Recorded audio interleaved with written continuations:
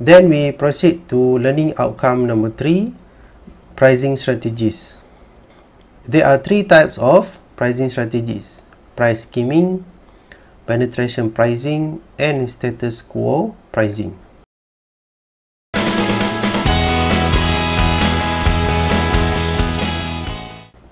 Number one is price skimming.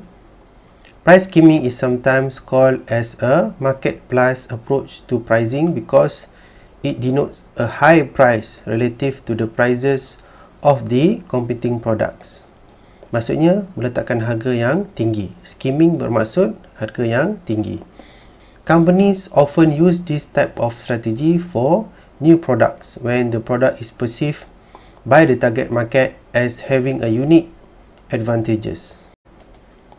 For examples, Timberland products sets a premium prices to support and capture its high perceived value.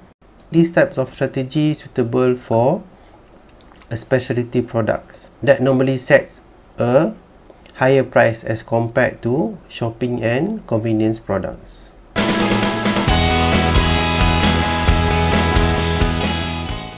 Strategy number two is penetration pricing. Penetration pricing is at the opposite end of the spectrum from skimming. Penetration pricing means that charging a low price for a product or services in order to reach the mass market. The low price is designed to capture a large market, resulting in a lower production cost. If the company objective is to capture a large market share, this strategy would be suitable for the companies.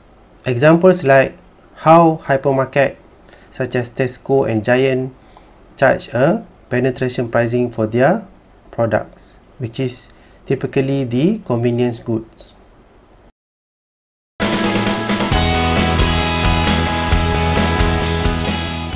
Then, status quo pricing strategy. This is the third basic price strategy a firm may choose, also known as meeting the competition or going rate pricing.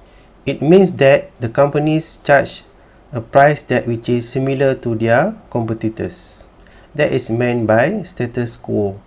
Just follow the price that is offered in the market. Examples like if the company is small, having a status quo pricing may be the safest route to the long-term survival.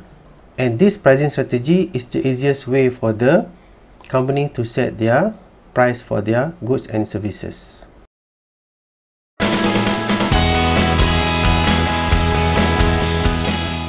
So as a conclusion, pricing is about finding the customer valuations. Actually, pricing is simple.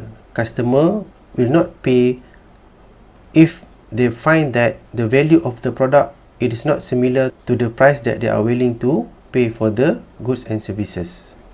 So it is very important for the marketing managers to determine the types of pricing orientation and align with its strategies in order to be able to sell their products and services. And at the end of the day they are able to gain profits out of their sales.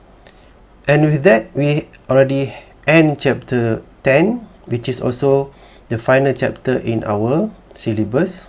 So thank you very much. Until we meet again next time inshallah